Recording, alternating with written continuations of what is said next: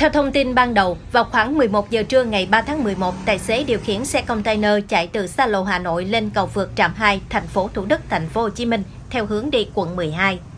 Trong lúc đang ôm cua lên cầu vượt, đoạn thuộc phường Tân Phú, thành phố Thủ Đức, thì bất ngờ chiếc container lật nhào xuống đường. Nhận được tin báo, đội cảnh sát giao thông Rạch chiếc đã có mặt xử lý hiện trường, điều tiết giao thông.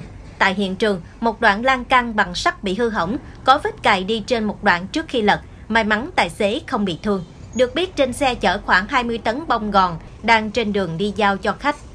Xe cẩu sau đó được điều đến để di dời chiếc container gặp nạn.